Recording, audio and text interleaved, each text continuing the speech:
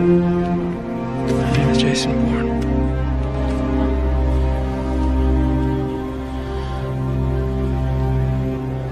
I live in Paris.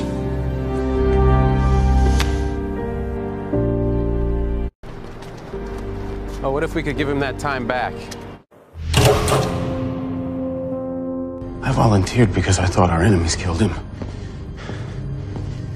I volunteered because of a lie. No, you volunteered because of who you are. You volunteered because you are Jason Bourne and not David Webb. He's seen things. He knows things. Mystery. I know you're looking for something. Let me help you find it.